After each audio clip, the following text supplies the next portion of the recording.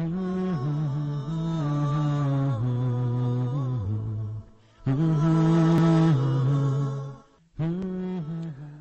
alaikum wa rahmatullahi wa barakatuh and welcome back. The Prophet ﷺ buried the dead, supplicated with his companions in a clear evidence and a manifestation of worshipping only one Allah and in accepting whatever Allah Azza wa Jal has decreed upon the Muslims. No questions, no rejection, no objections to what Allah Azza wa Jal has decreed on them. They went with the wounded to Medina. And as soon as the Prophet ﷺ arrived in Medina, and this was Saturday, it's one day event, he thought that there is a possibility that the polytheist would come back and attack Medina. Because going to Mecca, it's about three days ride. So maybe they had second thoughts and we didn't do anything. Let's go back and finish what we've started. And that is why the Prophet ﷺ told his companions, whomever was with us yesterday in, in, in Uhud must come and go with us to Hamra al-Asad in order to fight the mushriks. Sheikh, did any one of the companions complain about uh, too much fighting, battle after battle? Did one, uh, one of them complain? No, not, not even one of them complained because again, this was their objective. What is their objective? Is to support Islam, to support the Prophet ﷺ, and to get the honor of dying at the cause of Allah. So it was excellent for them. This is their bread and butter. Now, the Prophet ﷺ encouraged them to go to Hamra al-Asad. And as we can see uh, uh, on the screen, Hamra al-Asad is about eight miles away from Medina. It's not that far. But again, it's outside of Medina. So the instructions were clear. Only those who fought with us in Uhud were to come out with their wounds. no one else. And this was also to show the polytheists the strength of the Muslims, even when they're down and wounded. What's the wisdom from to take only the, the people who fought before? Because he wanted those who were with him to be stronger.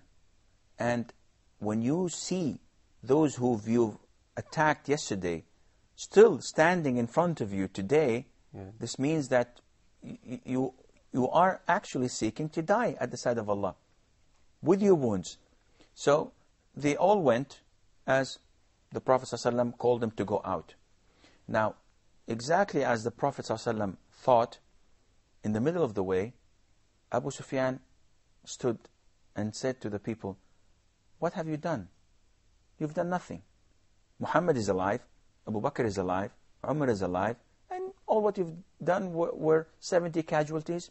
It's nothing. Let's go back and finish what we came to do in the first place. Safwan ibn Umayyah, though his father was killed in the Battle of Badr, but he was a smart man.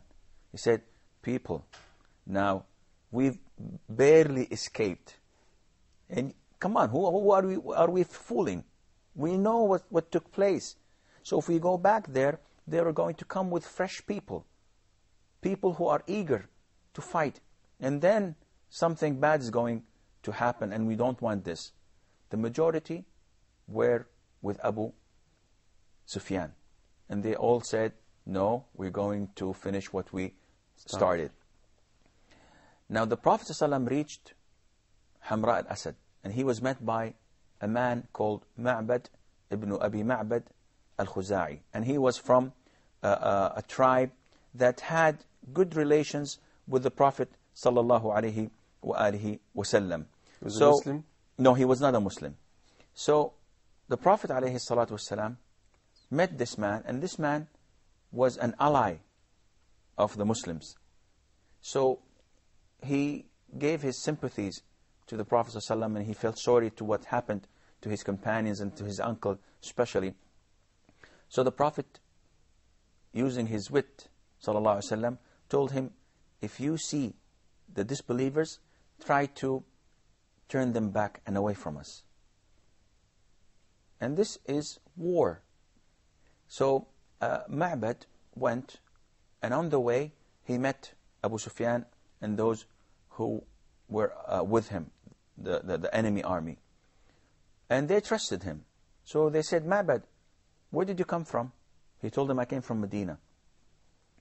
And I came from a very, very strong army of fresh fighters who were so eager to kill you, I could see it from their eyes. And they came in huge numbers. All those who did not come to fight in, in the Battle of Uhud came out now.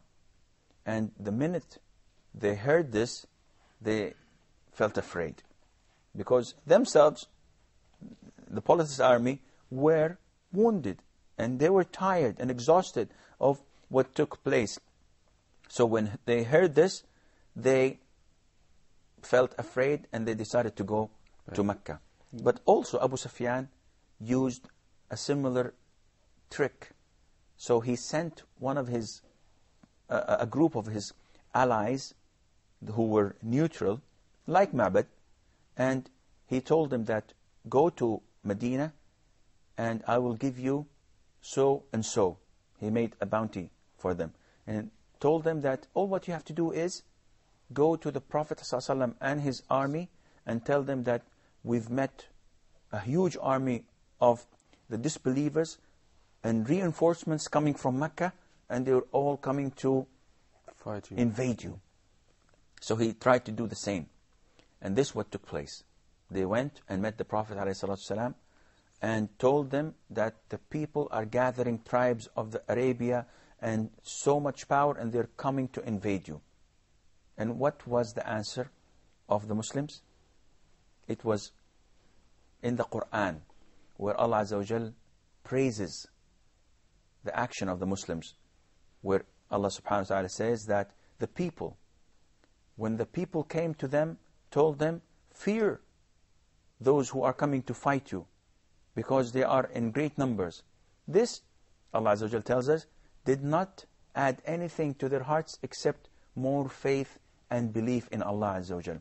They increased the faith in their yes, hearts. it did not decrease it or made them feel afraid. Yeah. On the contrary, it filled it with faith and they said, Hasbunallah wa ni'mal wakil.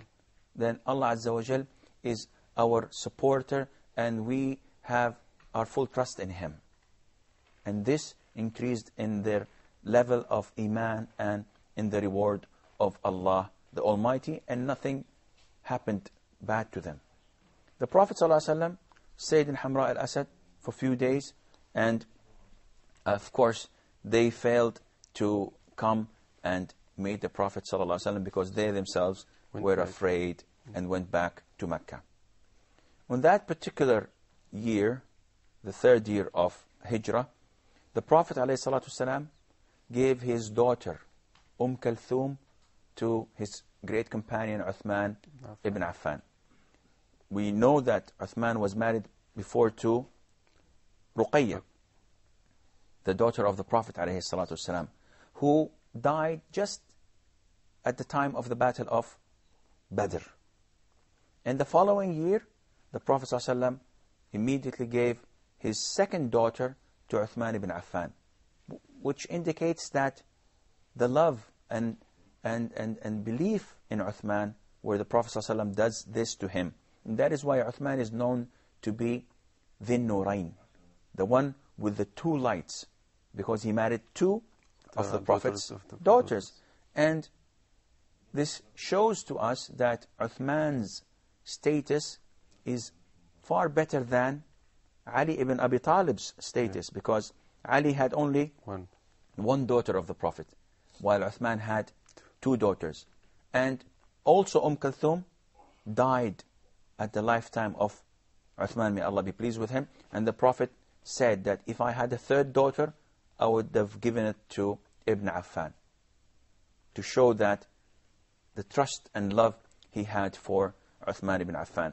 Also in this year, the Prophet ﷺ married the daughter of his best friend, Umar ibn al-Khattab.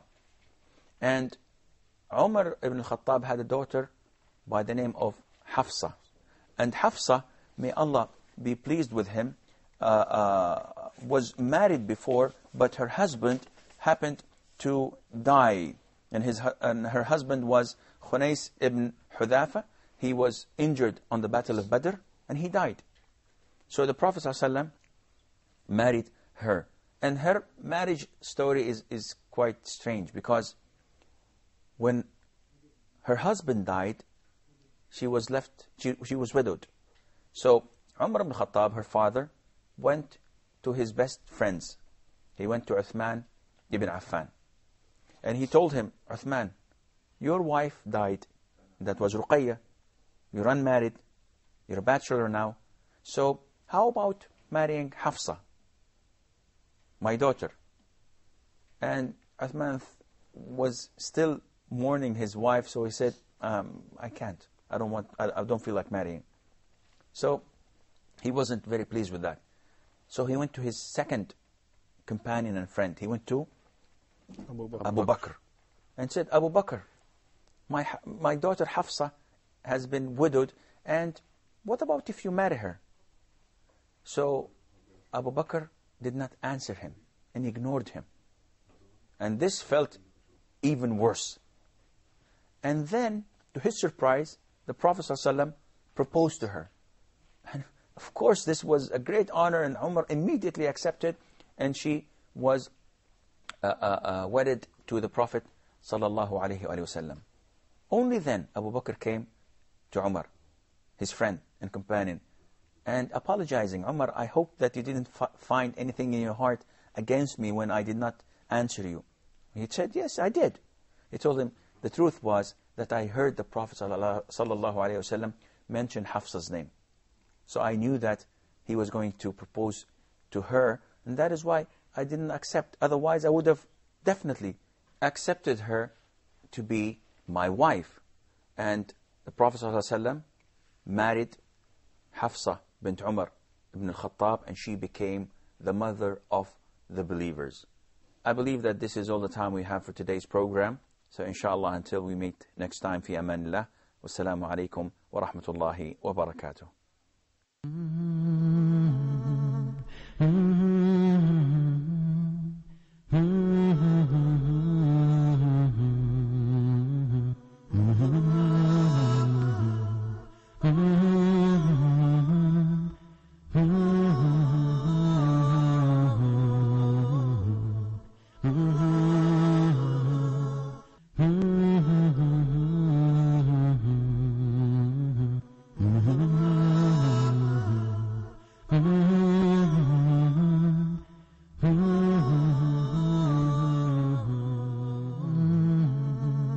Mm-hmm.